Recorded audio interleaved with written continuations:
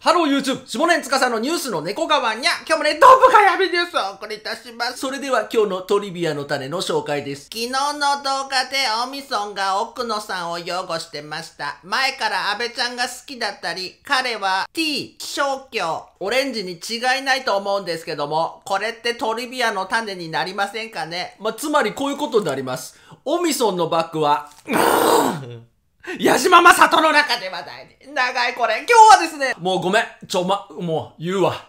言うわ。オミソンのバッグには、あれがついてます。って話をやっていきたいと思います。つねということでね。やっていきましょう。すいません。その前にちょっと面白いんで顔が怖い話していいですかね。顔怖国ね。現在、モスクワ市内で、実は大規模な民衆デモが行われていると。顔の怖い人が急遽ですね、一般民衆から、まあ、過去予備役なんで正確には違うんですけど、ね、徴兵を始めるということを発表しまして、これめちゃくちゃ反発起きてるとね、まあ、顔の怖い人って言ったら、顔が怖いですからね、あの、基本的に眼光だけで民衆を黙らせる能力者なんですけど、なんか今回はですね、眼光だけじゃ収まらなかったらしくて、秘密の宮殿に逃亡したっていう報道が入ったわけです。これはですね、顔の怖い人がいくつも持っている別荘の中の一つで、結構お気に入りの森の中にある別荘らしいと。この別荘は3階建てでスパ施設、プールや泥風呂、美容室があると。顔の怖い人の個人的なバンカーと呼ばれているユーリ・コバルチュクっていう一部この別荘を保有しているとのことなんですけど、ここに逃げてるって話があるわけ。で、これがですね、あれっつって、これまさか国外に逃げる前振りじゃね？っていう話が出てるわけなんですけど、一個言っていいですか？ね、あの、顔の怖い人はゲーム大好きなんですよ。ね、各別荘にダンレボを置いてるわけですよ。これね、バタフライをやりたくなっただけなんよ。あいやいやい、I'm 顔コアバタフライ。ウィンバスウィンパサパサインザスカイ。お、インザスカイって言いたかっただっけ？ね、ということでね、インザスカイでした。いや、うるせえっつって。あの、昨日ですね、パンダちゃんの国の一番偉い人が今行方不明だって話しました。これと同時に、ね、この顔の怖い人が逃亡したっていうニュースが流れるというこの状況、なんかおかしいと思いませんか？そう。これはもう情報戦が始まってると。現在、ウの国の大統領がね、この顔の怖い国側に対して投降しなさいと。ね、私たちはあなたたちが、を受け入れますと。そしてもちろん、顔の怖い男に身柄受け渡したりしないから、もう戦はやめて投降しなさいって言い始めたわけですよ。これがですね、なんて人道的な、提案で好き、かっこいい。抱いてってみんな言ってるとか言ってないとかって話なんですけど、騙されるなとね。これはですね、あくまでもね、うの国の東側にあるね、ドンバル島っていう北九州でめっちゃ有名な地元のパン屋さんがありましたね。このパン屋さんの地域でいろいろやらかしたことを隠すために、上面をですね、オブラートに包んでるに過ぎないと。そしてついでに顔の怖い人が失脚したという情報を流して国内で動揺させようっていう、もうこれ全部ワンセットのおたしなみですね。そういうことなんですよ。で、なんでね、これ騙されないでください。ダンレボやってるだけなんで、そういうことなんで。で、まあこの情報戦っていうとね、オミソンも激しい情報戦にさらされてると、たまにテレグラムのことをいじるじゃないですか。けど、この前リスナーさんから、オミソンつって、オミソンテレグラムで偽工作員って言われてたよつって、偽なの工作員なのどっちだって、まあ日々こんな誹謗中傷にさらされてるんですけど、昨日ですね、この動画出したところ、いろんな反響いただきまして、そんな中ですね、あるね、チャンネルさんがいまして、その人はオミソンのことをずっとツボって呼んでるんですよね。そのツボっていうのがどうやらトだと。ね、オミソンのバックには、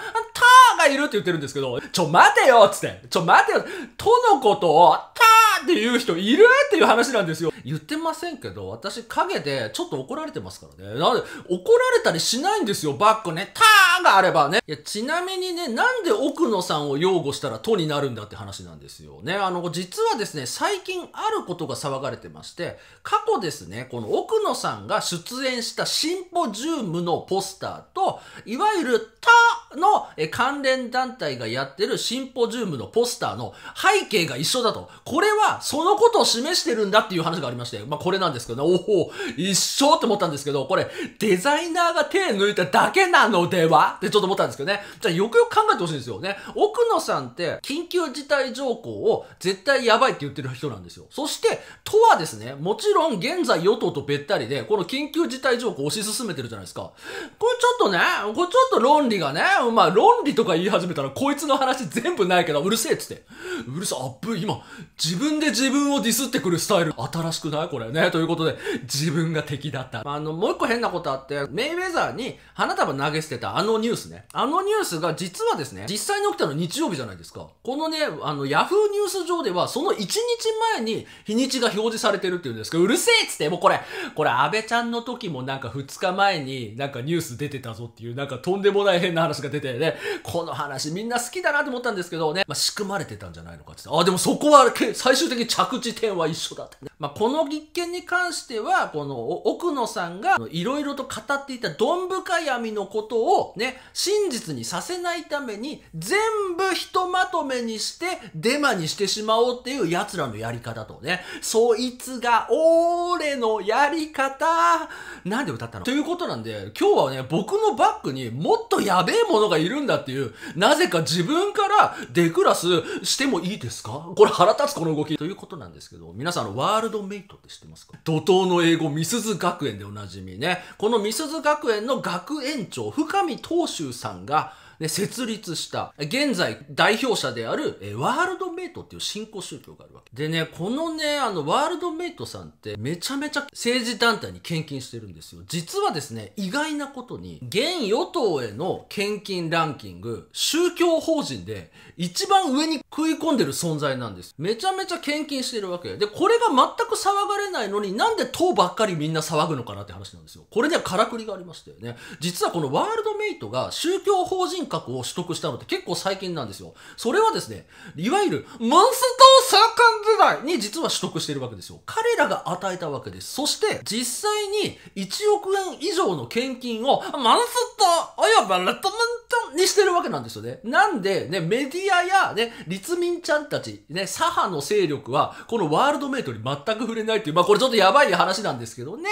で、でも実は私このワールドメイトめちゃくちゃ好きで、あの昔関東に住んでいた時に、あのの地下鉄とか電車に乗るとですね、謎の大和健がですね、怒涛の英語っつって涙を流してる広告、皆さん見たことあると思うんですけどね、あの、ミスズ学園、これ何なんだろうなってずっと思ってたわけですよ。で、あれは実はこのワールドメイトっていう宗教法人が経営してる塾なんですよね。で、このワールドメイトっていう宗教法人めちゃめちゃふざけてて、これ深見東秀さんって人がギャグが大好きな人なんですよ。で、その、もともとね、教義は、その、神道系で、あの、大元教から分派してる、最最初は硬派な宗教だったんですよ。これ深見東秀さんがふざけ始めてね、あの、ちょっとおかしくなっちゃったんですよね。で、あこれあの、褒め言葉なんです。いわゆる宗教法人の支部、まあ、教会みたいなとこあるんですけど、これ教会の名前がね、でもこういう感じなんですよね。味噌煮込み、住み込み、何でもこざる、黄金溢れ返り支部。愛知県名古屋市。ね、ふざけてんのよ、これ。完熟トマト、あちらにポロリ、こちらにポロリ。結局畑はトマトだらけ。なんて真っ赤な幸せ新宿エリアホーム。長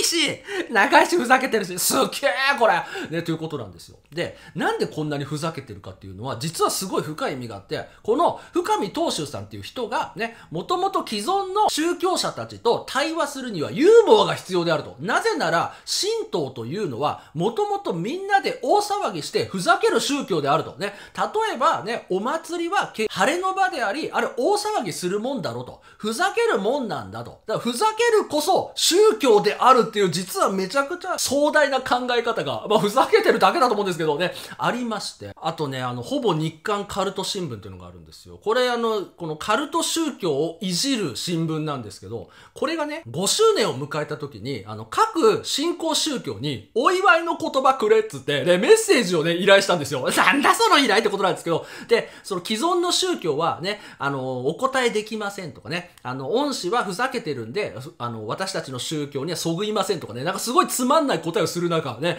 この深見東秀さんだけは、おめでとうございますって、めちゃめちゃ長い祝辞を述べてね、私たちにできることがありましたら、何でもお答えしますね。かっこいいところふっかってことでね、かっこいい。抱かれたい。ね、抱かれたいね。そういうことなんです。すぐ抱かれたからな、お前最近。で、なんでこの話したかって話なんですよ。そっちだろ、これはどう見ても。俺、これどう見ても、東州側の人間なんよ、こっちは。だからもう、ターとかも言うのなしな。もう今後は、ワールドメイトがここに座ってるって思って、あの、怒涛の英語がここに座ってもらってると思ってもいいですか？そういうことなんですよ。ちょっと、すいません。東州の話してたら、ちょっと興奮してきたんで、ちょっと皇室の人呼んできてもらっていいですか？ね、あの、この方ね。そんなですの妹ちゃん。これ、かこちゃんのかこちゃんですの。あれ？関係なかったね、どういうこと？俺、現皇室の人はいじっちゃダメだって、おじいちゃんに言われましたね。どういうことなんだよ？もうちょ、ちょ、ちょ、ちょ待って、ちょ待って。そんかいです。はい、戻りましたね。ということでね、うん。あの、そういうことなんで、もう今後、オミソンが、たーっていう人を見つけたら、そうだよって言っときます。で、言うんかよ、お前。否定しろよ、お前ね。ということなんだよね。もう二度と言うなよ。オミソン、ツボとか。ツボ、ツボ、ツボ、ツボ、ツボ。私の若い頃とよく似ています。なあ。二段落ちやめろ、いけるいけるってことで、若い時も可愛いよ。ということなんですけどね、あの、最近ですね、これ、お兄ちゃんの息子じゃないかっていうことがめちゃくちゃ騒がれてる女の子がいまして、これ、ある式典でね、これ子供たちが歌って踊るイベントがあっったんですよ。で、この時に、やたらカメラカットが長く、そして他の女の子が髪を結ばされているのに、この子だけはなぜか髪を結んでいないっていう、すごい特別扱いされてる女の子がいて、これがお兄ちゃんの娘なんじゃないのかっていう話なんですよ。で、よくよく見ると、確かにあの奥様のソルジュちゃんにもめっちゃ似てるなってことで、ね、これは将来有望やなってちょっと思いましたけどね、娘いたんだってことですよ。パパだったんだね。やっぱあれなんですかね、ゼロカロリー理論、娘に教えてるんですかね？いや、伊達ちゃんじゃないのよ。って思った。今日も一日お疲れ様でした。良い夜お過ごしください。アンチもめちゃくちゃチェックしてる。サブチャンネルとツイッターなどなど各種 SNS いろいろあります。オミソンの闇の背後が見え隠れするとかしないとか。ぜひともチェックチェックしてっちゃ。あれをついに手に入れてしまったっていう話なんですけど、皆さんあの、マクドナルドにハッピーセットってあるじゃないですか。お子様セットなんですけどね。あれについてる、えっと、景品がですね、大人も欲しいものがたまにあるって話なんですですよね。私、こんな顔してなんなんですけど、キティちゃんのことが大好きで、で、結構キティちゃんグッズいろいろ集めてるんですよ。今ね、キティちゃんグッズなんですよ。でですね、でもさすがに、この面下げて、ハッピーセットエコーって言いに行けないじゃないですか。だからちょっとやきもきしてたんですよ。欲しいな、欲しいな、つって、怖いな、怖いな、つって、お前の顔が怖いな、つってね、言ってたわけなんですけど、そしたらですね、見るに見かねたうちのお姉ちゃん家族からね、これやるわっていう、ちょっとね、あるものが届いたわけですよ。で、それね、ちょっと袋開けたらですね、なんとそこに、キティちゃんのシュシュが入ってたんですよね。オミソンって、シュシュに興奮する性的盗作者じゃないですか。自分で言うのやめてもらっていいですかね。ということなんです。これをくれたと。で、これをくれた主がですね、あのクールなね、すぐに大丈夫ですって言って、オミソンとの会話をね、打ち切る、メイっ子だったんですよ。メイさんつあいつ、僕のこと結構好きだったんだなってちょっと思いまして、今度お小遣いあげようと思いました。でね、それにね、一緒にね、なんか手紙みたいなのが入ってたんですよ。で、なんかね、一言だけ文字が書いてあったんです。明らかに小学生の低学年の男子の字で、てことって書いてあったんですよ。またいじってきとるか煽り運転だ、これ。いや、小学生が86歳いじるのやめてもらっていいですか？ああこれが世代交代かってこと。強くなれよ。